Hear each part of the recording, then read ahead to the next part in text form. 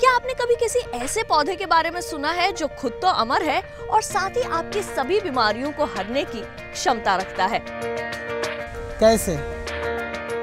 मैं बताऊँगा छत पर बागवानी कार्यक्रम में।